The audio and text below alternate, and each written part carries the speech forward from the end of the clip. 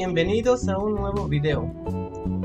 El Centro Cultural del Ferrocarril se encuentra en la calle General Ignacio Mejía sin número, Colonia Morelos, en Pachuca Hidalgo. Como referencia es atrás del Parque de la Familia. En este centro cultural se conserva una locomotora de vapor marca Niágara, número 2308, que estuvo al servicio de Ferrocarriles Nacionales de México. Este centro muestra la importancia de los sistemas de transporte predominantes a finales del siglo XIX. En su momento la estación fue conocida como el Ferrocarril Mexicano, la cual operaba desde 1883 con la llegada de la primera locomotora.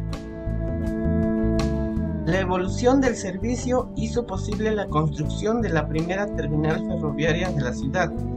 Aquí también operó la terminal del ferrocarril central y en lo que hoy es la Plaza Juárez existió la terminal del ferrocarril Hidalgo, ambas hoy extintas. Desde esta terminal salían ferrocarriles hacia los llanos de Apan, Tula y la Ciudad de México, al ser una vía indispensable de comunicación y de abasto de mercancías. En 1996 tras la desincorporación de Ferrocarriles Nacionales de México, esta estación dejó de dar servicios como terminal. En 1999 se convierte en el centro que es ahora. Actualmente es un espacio cultural que sobre todo abre sus puertas al esparcimiento infantil, adaptando sus espacios de estación ferroviaria para ello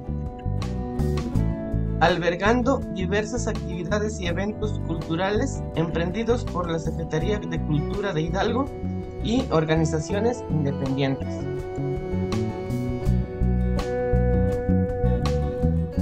Las estaciones del ferrocarril en México actualmente forman parte del patrimonio cultural e industrial del país pues son muestras inestimables de procesos tecnológicos que marcaron el desarrollo social y económico de su época. Llegamos al final de este video, ojalá que les haya gustado, suscríbase a nuestro canal.